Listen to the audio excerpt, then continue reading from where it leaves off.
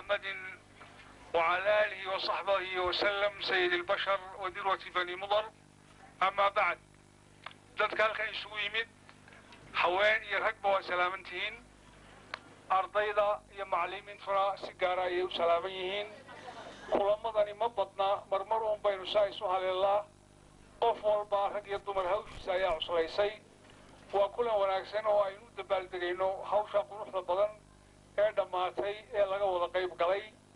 Amba hay'ad yahay naga caawisa gidaar. Inta kalese ay qabteen dad muwaadiniina oo iskuulkan carruurtooda ku jirto amba aanay ku jirin. Waxaan rajaynaynaa in iskuullada kale ee dayrarka aan lahayna aabbayaasha iyo hooyooyinku ay sidaa ugu kacaan iyo muwaadiniintu oo ay asturaan iskuulladooda ka asturaan dadka dhex maraya iyo awrta dhex maraysa iyo dameeraha dhex maraya ee ardayga intibaahiisa jeedinaya cashirka ka jeedinaya amba iskuulka ka asturaya in loo isticmaalo waxaan loo dhisin. Iskuullada qaar baad moodaa inay yihiin musqulo oo loo soo kaadi tago.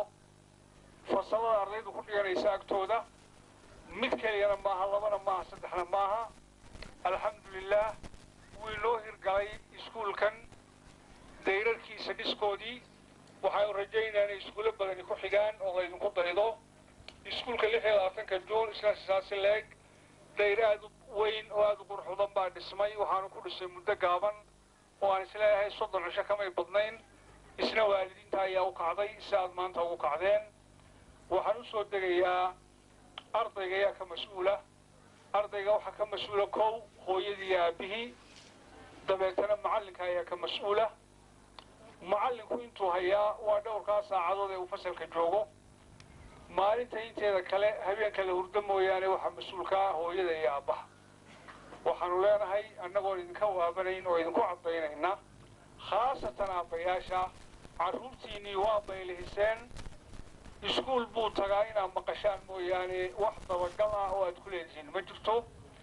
Arrinta foosha xun ee beri dhaweyta dhacday ee arday arday kale ay dishay arrinkiina maxkamadda uu ku jira waa ogtihiin wax hore u dhici jiray maaha waxaanu ka codsanaynaa waalidiinta khaasatan aabbayaasha inay carruurta dabagal ku sameeyaan oo ay daba socdaan oo inta wakhtigoodu asbaxaya ay ogaadaan ilmahoodu wiil iyo gabadh saacad walba halka uu joogo. In ay sugaan habeenkii inanta iyo inankuba ay dhaqso u soo hoydaan. Saacad amba laba amba saddex. Inta kolba laydhku u asmaxayo inay wax akhristaan ilaa ay seexdaanna ay ka warhayaan oo aanu odaygu ku warhelin inankii stationkuu ku jiraa oo amba waxa lagu qabtay fal aan wanaagsanayn isagoo samaynaya amba dagaal baa lagu qabtay amba waxaan wanaagsanayn isagoo samaynaya lagu qabtay aanu ku warhelin. Dabeetana aan u orordo inankiisa baan u soo damiintaa inanka inantu intaanay dhibaatooyinka caynkaasa gelin waxa waajibka waalidiinta.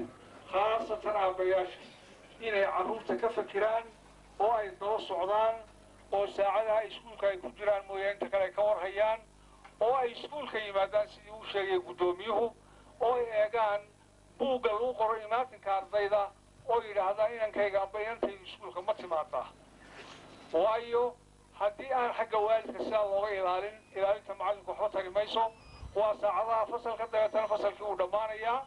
Macallinkuna hawshiisu u gudbayaa ardayguna suuqiisu gelayaa marka waxay nagu waajiba hooyo iyo aabbo iyo macallinba inay inaynu ardayga u guntanno sidii axmed sheegayey guddoomiyaha gobolka waxaa noogu daran marka imtixaanka sanadka sideedaad la qaadayo amba foomfoorka la qaadayo natiijadu soo baxdo. Waanu ka yaacnaa xafiisyada oo meel kaleanu xafiisya ka dhigannaa. Waxaanu ka cararaynaana waxa weeyaan hooyada cadhaysan iyo aabbaha cadhaysan ee inankii cidhifka jiidaya ee inankaygu may umau dhicinaya iyaga waraaqihiisii haddii aabbaha iyo hooyadu ay la socdaan inanka amba inantaa way ku qanci lahaayeen inuu dhacay iyo inaanu dhicin waayo waxay garan lahaayeen siduu wax u akhrisan jiray amba sida inantu wax u akhrisan jirtay. Annaga qudheedu eed baanu halkaa ku leenahay haddaanu nahay wasaaradda waxbarashada macallimiinta waxaa ku waajiba dhaqanka dhicidda iyo gudbinta. Inaanu bilaabmin maalinta fasalka sideedaad la dhammeeyo amba fasalka afraad ee secondariga waa inuu ka bilaabmaa intuu ardaygu ku jiro dugsiga hoose iyo dugsiga dhexe. Macnaheedu maaha ardayga amba ardayda hala rido. Macnaheedu waxa weeyaan imtixaanka sanadka labaad laga gudbaya ka saddexaad lagu gelayo. Haddii inanku dhaco amba inantu dhacdo waa in lagu reebaa fasalka labaad oon automatically inanku u gudbi fasalka saddexaad amba inantu aanay u gudbi fasalka saddexaad. Haddii aabbaha iyo hooyadu ay ogaadaan ilmuhu markuu sanadka labaad ka gudbo ka saddexaad imtixaanka hadduu dhaco inaanu gelaynin dhicidda markuu sanadka sideedaad gaadhaan dhibaato kuma yeelateen. Waayo waxay la soo socon lahayn ilaa maalintu fasalka labaad ahaa ilaa intuu fasalka sideedaad la gaadhayay aabbihii iyo hooyadii iyagoo weligood maqal ilmaha dhacay ayuunbay sanadka sideedaad ku ambariya inankii ambarintii way dhacday. Eedaa nagaale macallimiintu arrintaa waa inay saxdaa oo imtixaanka lagu gudbayo imtixaanka sanadka labaad lagu gudbayo ka saddexaad lagu gudbayo uu muhiim u ahaadaa sida ka sanadka sideedaad muhiim u yahay. Oo ardayga amba ardayda gudbi weyda lagu reebaa sanadka labaad. Maalintaasaa hooyadii aabuu imanayaan oo odhanayaan inankayga inanteedii maxaa sanadka labaad loogu reebay ee ka saddexaad ay u gudbi waayeen. Markaasuu maamul uu sheegayaa uu leeyahay imtixaankii lagu gudbayey ayay inantaadu dhacday amba inankaagu dhacay. Marka hooyada dhibaato ku noqon maysa amba aabbaha sanadka sideedaad ilmuhu markuu dhaco waayo waxay garanaysaa amba aabbuhu garanayaa sannadkii labaad markii loo gudbaayo inuu dhacay kii shanaad marka loo gudbaayo ka lixaad la galaayo inuu dhacay inay dhicin ducaado u ahaan jirta ilmaheeda amba inankiisa ayuu aabbuhu ogaanayaa. Markaa fagcad ku noqon mayso. Khaladkaa wasaaraddaale waanaanu saxaynaa macallimiintu way maqlaysaa. Falyuballigi shaahidu minkum ulgaayib kay dhegaysanaya oo ka maqan gaadhsii seerkulanna waanu ka soo saaraynaa wareegta wasaaradda madaariskeeda oo iskuulladeeda oo dhan gaadha waa inaynu dhaqanka ilmuhu inuu gudbi karo iyo inuu dhici karo. Aynu ku beernaa dareenka waalidiinta inta carruurtu ay yaryar tahay si dadaalka ardayguna u bato oo yidhaahdo qolyo xal sannadkii labaad lagu gudbin waayo ka saddexaad yaana dhicin uu guntiga dhiisha iskaga dhigo hooyada iyo abbuuna canaanta ilmaha ay ku bilaabaan intuu yar yahay oo ay ku dhiiriyaan walba inaanu isagoo soo dhicin oo imanin taa waxaan uga gudbayaa dhaqanku waa muhiim akhlaaqdu waa muhiim carruurta akhlaaqdoodu macallinka iyo hooyada iyo aabbaha ayay saaran tahay. Macallinku sidaa sheegay intaa fasalka lagu jirunbuu mas'uul ka yahay. Inta dibadda la joogo aabbaha iyo hooyada ka mas'uula. Carruurta waa inaynu dugsiga markay yimaadaan iyo markay idinka idinla joogaanba waa inaynu ku dhiirinaa salaada inay tukadaan ina salaata tanhaa cani alfaxshaa'i waalmunkar waxa diintu ina faraysaa ilmaha toddoba jirka waa inuu ku tukadaa lagu dhiiriyaa toban jir hadduu gaadho waa in lagu dilaaba hadduu tukan waayo ardaygu hadduu ku soo barbaaro salaad iyo alla kacabsi wuxuu ku barbaarayaa akhlaaq wanaagsan iyo dhowrsoonaan waayo salaadda ilaahay wuxuu ina leeyahay waxa xun ayay kaa ilaalisaa ilmihii wuxuu noqonayaa ilmo ilaahay xidhiir la leh oo shan goor maalintii tukanaya sunnaha mooyaane shantaa goorba hoslayn buu ilaahay la leeyahay cabsi baa ku beermaysa dhaqan wanaag baa ku beermaya salaaddu waxay ka mid tahay waxyaabaha akhlaaqda wanaajiya ee carruurta bara nidaamka iyo disiblinka iyo habsamida waalidka iyo macallinkaba waxaa ku waajiba in carruurta lagu barbaariyo salaada in lagu barbaariyo soonka in lagu barbaariyo been sheegidda iyo run sheegiddu inay kala wanaagsan yihiin waalidka iyo abuuqa inay intaa isa kaalmaystaan aad iyo aad bay ii dhibtaa markaan arko salaaddii oo laazimo macallinku aanu salaada u baxaynin wax aad iyo aad ii dhiba weeyaan mana qurux badna macallimiinta waxaanu faraynaa qudwad baa tihiin dadkii lagu hiranayay baa tihiin waa inaad dhowrsoonaataan waa inaad xufaadu sala ahaataan waa in salaadu ka ogantaa dugsiyada oo la tukadaa saacadaha salaada waa in waysadu mutawafir ay hataa ardaydu ay wayse heshaan waa in ay ka muuqataa iskuulladeenna shacaa'irkii islaamku waayo ummad islaama ayaynu nahay shaacirta islaamkana waa inaynu ilaalinaa waxaan intaa uga gudbayaa dadka tabaruca bixiyey amba ha noqdaan waalidiinta iskuulkan carruurtooda ay ku jirto macallimiintii ardayda dad iskuulka dibadda ka. Ah ilaahay ha ka abaalmariyo camalkaa wanaagsan ee ay geysteen hay'adahayna kaalmeeya gidaarka amba labada inoo dhisayna iyagana waxaanu ka rajaynaynaa inay intaa nooga sii badiyaan oo ay nooga kordhiyaan.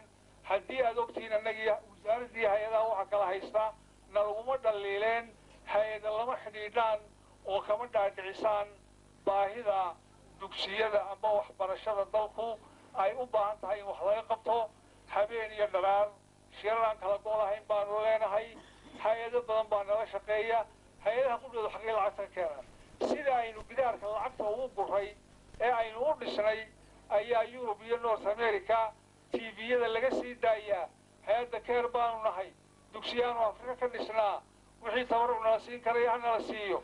Telefoonka iyagu waa kaa. Faxka iyagu waa kaa. Markaasaa habar toban doolar soo dirta. Tu labaatan soo dirta. Tu konton soo dirta. Qof shan doolar soo dira arday nusa saacihiisa soo dira doolar soo dira lacagtan hay'adahan waxay noo dhisayaa ay keenayaan dawladna kama soo qaadaan baanana kama soo qaadaan. Dad sideenaasoo caadi ah ayaa tabarruca oo damqada oo ay dhibtaa. Ma ilmo yaroo sideed jir amba toddoba jir ayaa adduunyada iskuulla. Qoryo xadhaadna waxoogaa ku darsoo ilmaha yar iskuul ha helo kuwa mahadda mudani waa kuwa hay'adda keer amba hay'adda u n h c r amba kuwa kale waa wakiiladii noo dhexeeyey lacagta soo qaadayay uun. Markaa waxaa ogaataan hay'adaha qudhooda markaynu sheegayno inaanay hay'adaha dawladu miisaaniyado aanay siinin ee ay yihiin hay'adaha qudhidoodu kuwa ku tiirsan jeeb qof inala mida rag iyo haweenay miduu doona ha noqdee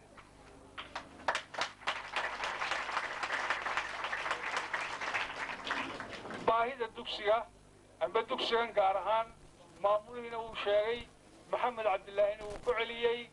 Dugsigu ma aha sidii maxamed cabdilaahi sheegay fasal wax lagu dhigto. Ardayga waa in jidhkiisa la dhisaa sida maskaxdiisa loo dhisayo.